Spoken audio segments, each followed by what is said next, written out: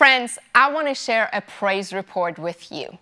As of mid May of 2022, we have had over 6,100 documented salvations that came to our ministry.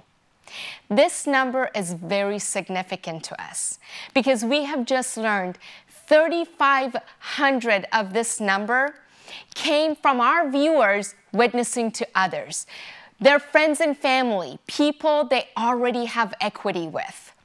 You know what this means? This means that we're not just making converts, but we're making disciples.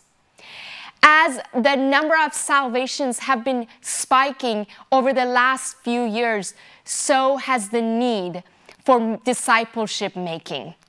You know, we are in need of making more disciples. So many people are coming to faith in need of being discipled.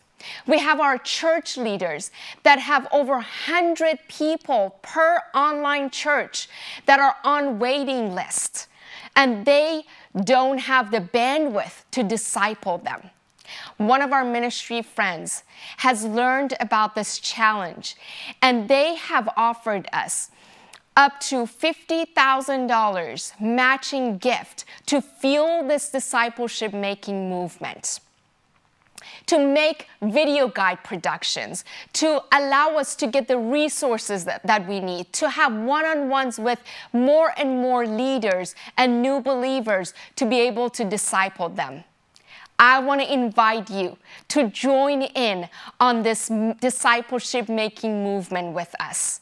I pray that all of us believers are compelled by the Great Commission to go and make disciples in all nations in Jesus' name.